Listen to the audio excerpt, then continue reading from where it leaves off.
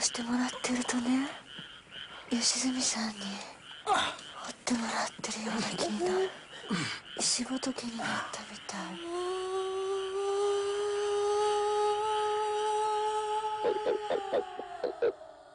先生さんパパと結婚するつもりなんでしょ？一平さんなんか比べ物にならないくらいすごいんじゃない？なんたってセックスアピールがすっごくあるもの実は昨日の夕方ご主人を見たという通報がありましてのしかし男はバカですな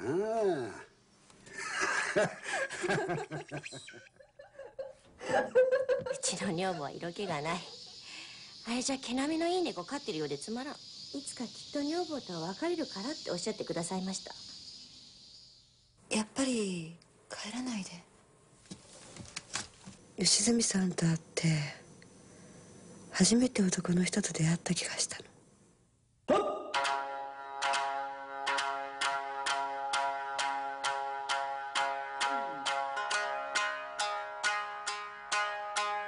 Yeah!